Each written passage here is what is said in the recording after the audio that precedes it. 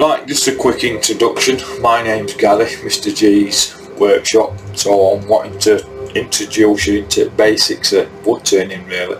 When I got into wood turning it was a bit vague, asking friends and people who knew were into wood turning. And it's a bit of a minefield all it was at first. It's easy to talk to people who know what they're doing uh, talking about gouges and skews and all different sorts of things. And to be honest at first it was like I say I was getting a bit lost. Right so what I want to show you quick is riding bevel it's called. A lot of people you see on groups and talking about riding bevel and it's like ah I've got it at last.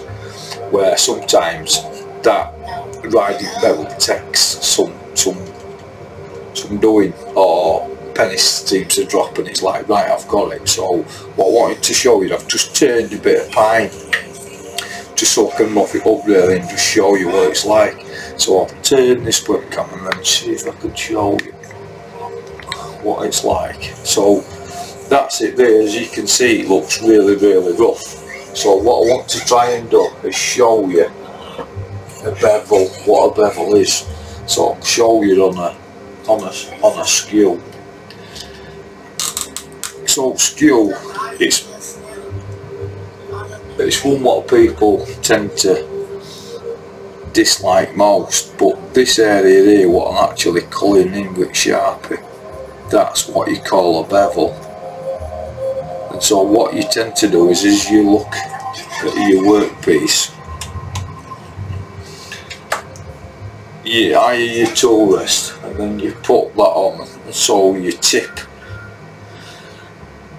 the uh, skew is just touching. And as it touches it turns round and then it rubs on that bevel.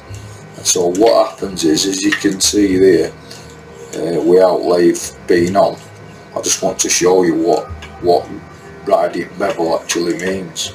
So as you can see now that's what I've actually done. I've actually rid bevel on that particular area there and sharp has disappeared. What I'll do is I'll turn it on, we're not going to bother with skew today, but what I want to do is just show you on uh, a spindle gouge. So spindle, this spindle gouge has got quite a, a long bevel there, so I'll do is I'll just colour that in with sharp so you can see and then what we'll do is we'll look at that piece of wood, pine, uh, and we'll see the difference. As you can see at minute, it's very, very rough. So as we turn lathe on, and I'll ride that bevel, we'll look at that. I'll take a couple of passes because it is rough, and then it'll be super smooth or a lot smoother than what that is. I've just turned that around with a roughing gouge. So right, we'll turn that on, see what she's like.